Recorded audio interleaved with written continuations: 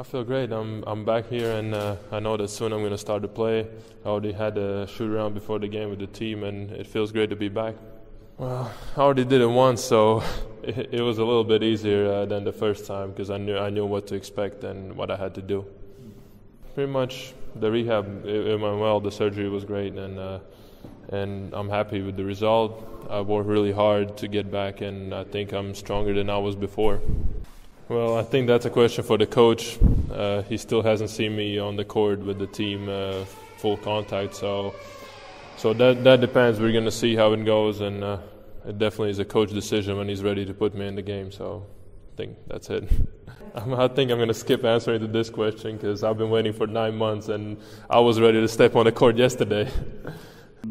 it hasn't been good for me when I plan some things ahead too much, so.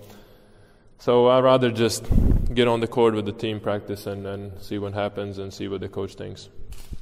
No, I have no fear, and uh, I'm 100% confident that I'll be back on the court better than I was before. Cool. You know, they helped me a lot, and and that's pretty much all I can say. Like, they have the the best physios, the best doctors in you know in the in this kind of injuries, so they've done a lot of job with that, and also the first time. So I felt happy that I could be there. Of course, I have to. I have to do before practice individual stuff to just to warm myself up a little more. Well, last year also there were some games against Olympiacos that uh, that the crowd was fired up exactly the same, and I think uh, the better the team is, uh, the better the opponent, and, and, and the bigger the win. So that probably fires up the crowd even more.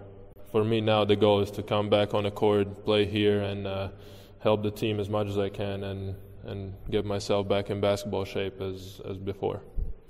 The guys have been playing incredible, and, and like I'm happy about that. That I have a chance to come back here and play EuroLeague top 16, and they started off the top 16 so good. So with still a chance to go to the quarterfinals, and then the Spanish league, the third place in ACB, it's it's great, and uh, and hopefully I get a chance to play in uh, Kings Cup finally.